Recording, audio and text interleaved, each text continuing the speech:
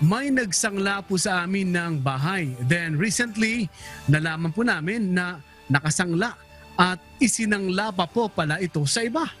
Kaya pinost ko po sa mga group yung picture ng house para hanapin yung iba pang pinagsanglaan ng bahay at magbigay babala ah, mag, magbigay babala na rin na wag na kunin kung ialok sa kanila.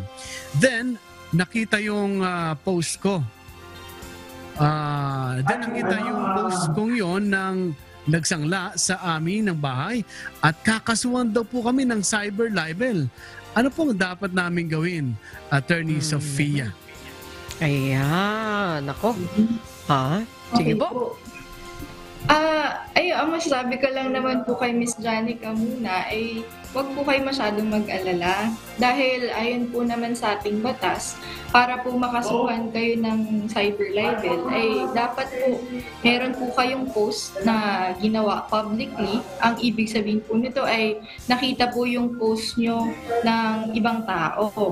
Pangalawa po, dapat ang post ay um, nagbibigay ng mga um, acts or imputes crime or nagsasabi ng kung ano mang bagay na nakakasira ng reputasyon ng tao.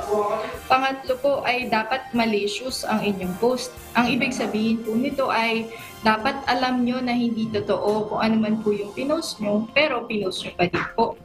Ang pang-apat po doon ay dapat identified or at least identifiable po ang tao. Ibig sabihin po nito ay nilagay niyo po ang pangalan ng kung sino man tao po yun sa inyong post or at least malalaman po or matutukoy kung sino man po yung tao na yun gamit lamang kung ano man po ang inyong post. At ang panglima po, dahil ito po ay cyber libel, dapat po ang post ay ginawa through a computer system. Ah, ngayon, base naman po sa mga binigay ni Miss Janica na facts, ay hindi naman po pasok sa cyber libel ang kanyang post. Dahil nga po, ang sabi niya lang ay pinost niya daw ang picture ng bahay para malaman kung kanino pang ibang tao nakasangla ito.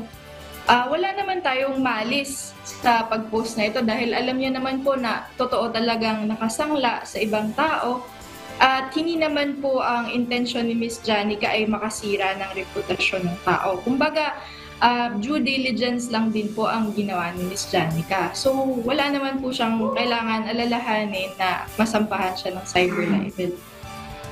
Okay, parang sinasabi ni Attorney uh, Sofia Manuel ay huwag ka masyadong kabahan. Ah, Ah, relax ka lang.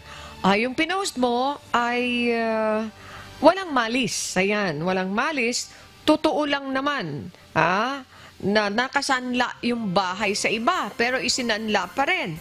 Pagkatapos, eh, uh, parang lalabas na due diligence naman doon sa part no nag-post. okay. Kung sakaling magiging uh, makulit pa rin po, yun uh, may-ari, dahil nasaktan siya, dahil pinost ito, eh, uh,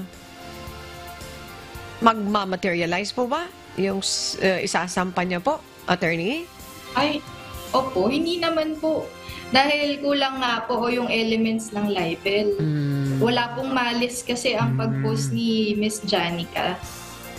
Kulang ang elemento. Ayan. Sa madaling salita, Opo. Ayan. Eh, pero alam mo, mayroon tayong matututunan dito, attorney. Ah, Yes. eh mga tao ngayon, sanay na sanay na sa ano eh. Kapag manluloko sa'yo, eh pwede pala yan. At uh, kung walang malis yung pagpo-post at totoo lang naman, eh pwede makaiwas sa demanda.